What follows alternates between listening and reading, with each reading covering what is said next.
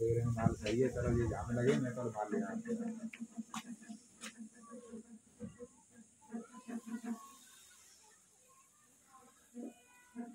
आऊँगा